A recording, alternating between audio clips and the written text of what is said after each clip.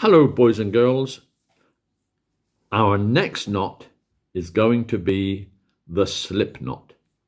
The slip knot can be used just to tie a rope around something that you then need to tighten it up. I you know, if you're lifting sacks or you're lifting something and you want to tie a firm knot, loop around something, the slip knot could be a way to do it.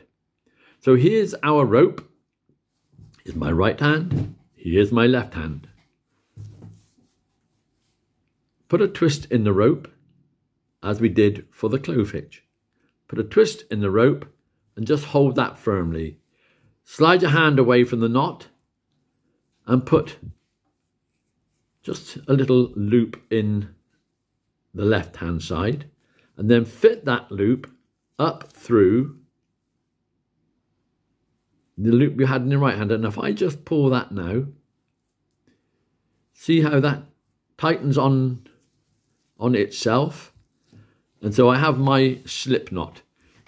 I'm going to put that end up there so you see that I'm not touching it. And here is the other end. And if I now pull this, you can see how the slip knot becomes tighter.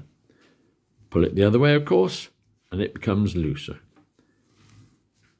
And when you finish doing your job, if you just go and pull and pull and pull and pull, abracadabra, the knot disappears.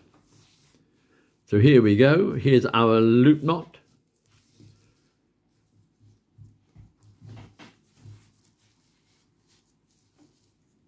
Tightening it, loosening it, tightening it, and keep pulling it, and the knot disappears.